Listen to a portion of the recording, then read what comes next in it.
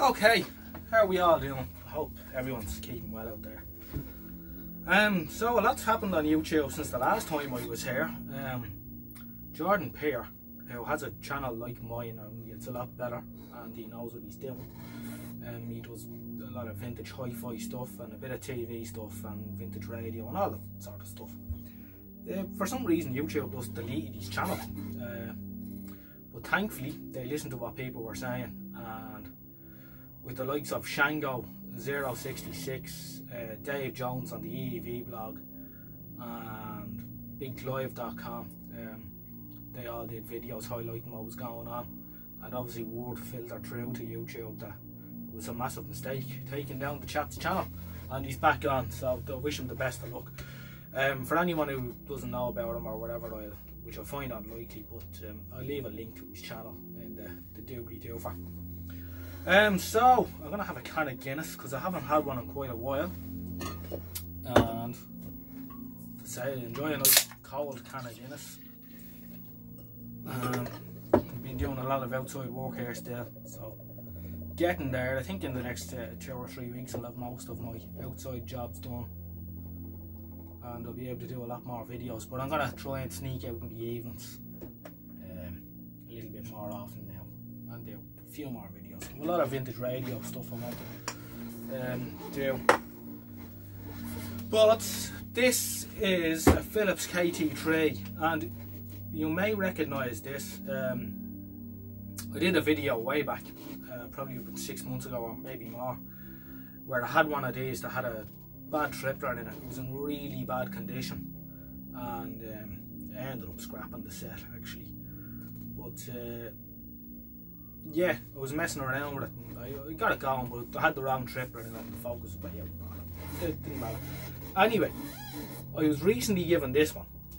Now, I was told that it had been working when it was put away 25 years ago and it hasn't been touched since. So I'm going to plug it in and see does it work. Um, I'm not going to take the back off, I'm not going to do anything with it. I'm just going to plug it in and see what happens. And um, it should be interesting. Uh, it was put away in a dirty filthy shed there so you can see that there's a nice thick layer of dirt on the top of it. So it hasn't been kept in the best of condition. Like most of the stuff that I um, get my hands on. So I'll probably just bring in the camera a little bit and we can see. I don't know if these have RIFA caps or across the mains that let out loads of magic smoke. It's quite possible but um, Cheers, everyone. Oh, yeah. I'm not one of them in a couple of weeks. Well, a week anyway. Um, what was I saying? Yeah, so I don't know if it's going to emit lots of smoke or what it's going to do.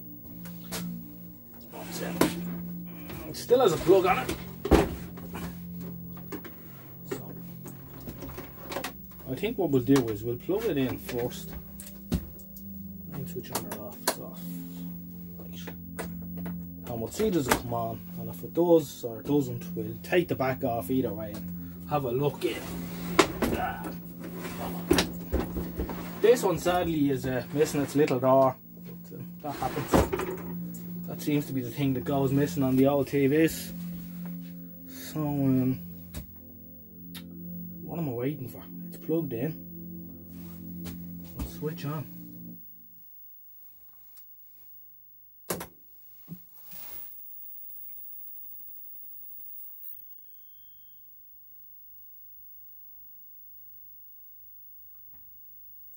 Works. It works. It works. It's working away. That's good.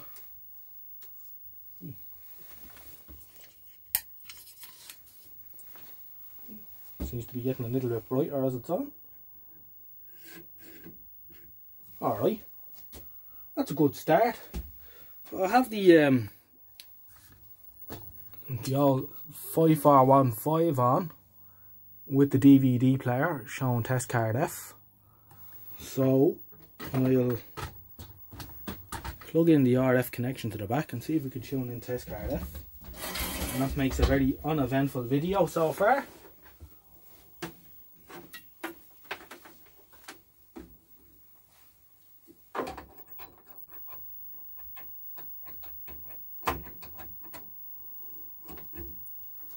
These are always so hard to find them when you're Oh! right. that wasn't hard, was it?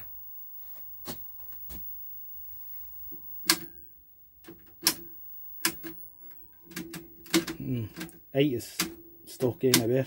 Must be broken.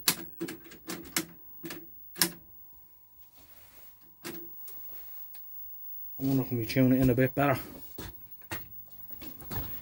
Was handy. Around the side, number 10 is on the left hand side, forward from the bottom.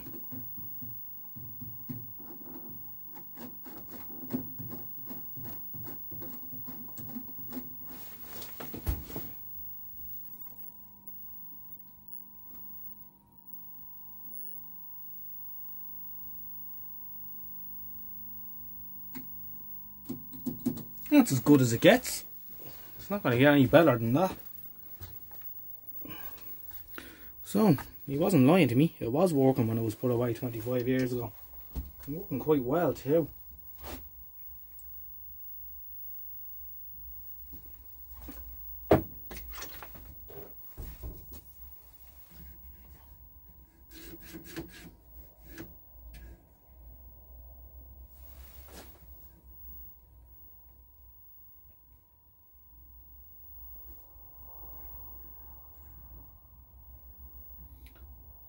Now tell me this.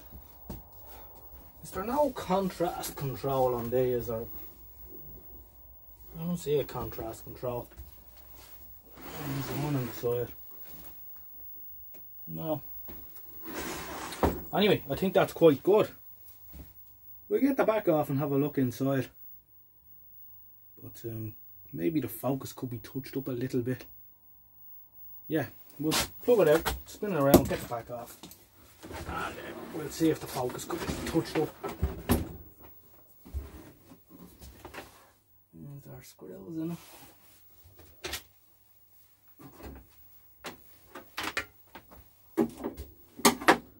So that was handy so far.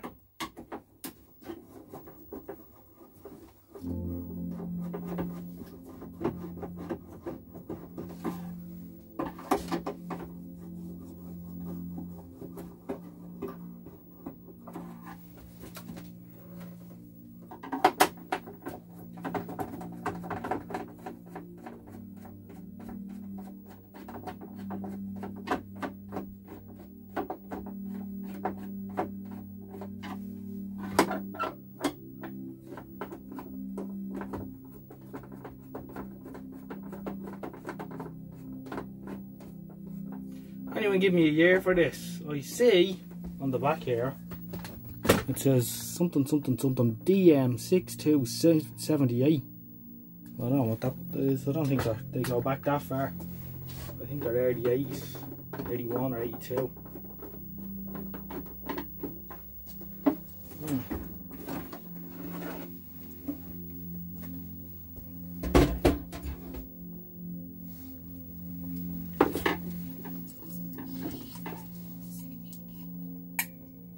Made in Singapore.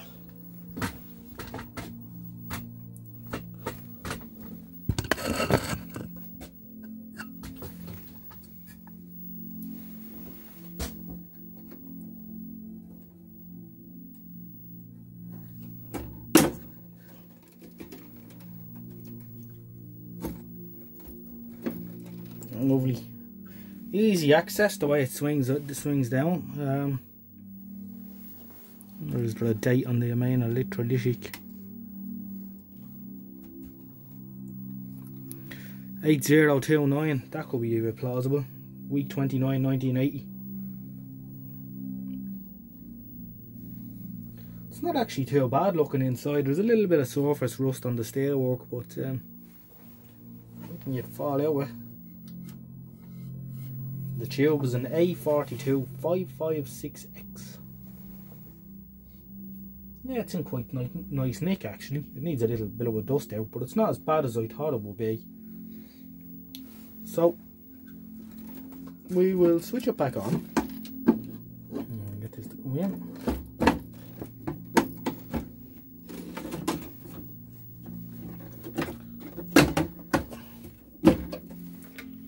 We'll switch it back on and we'll give the focus pot a little tweak to see if we can get it. I don't think we need to do anything else with it.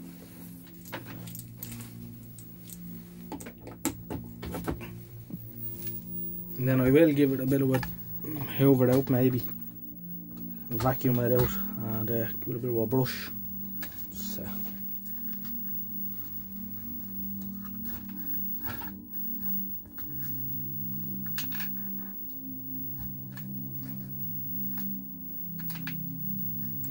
Yeah, gives us a good view. Let's see if we can. Mm, right. Okay. And the focus pot is here. So I'm to do this with my arm out of the way. So we can, let's see if we can get the phone out now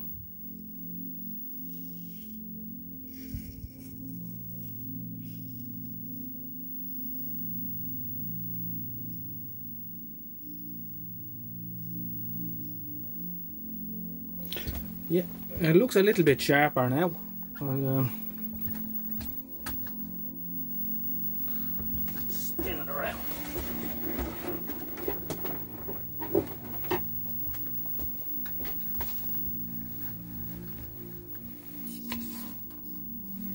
Yeah, I think that's a little bit sharper than it was.